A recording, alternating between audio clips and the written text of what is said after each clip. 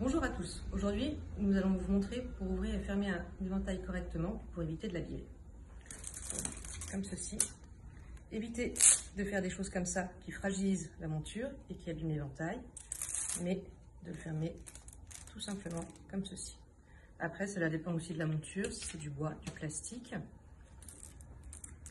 Et pareil, on évite de faire ça, mais comme ceci. Là, nous sommes sur une monture en bois. Et on remet correctement pour éviter qu'il y ait des, plis. Pour l'éventail avec dentelle et plumes, on remet correctement et on fait attention pour que les plumes ne se coincent pas, pour éviter qu'elles s'abîment et qu'elles tombent à force. Voilà, à bientôt, bonne journée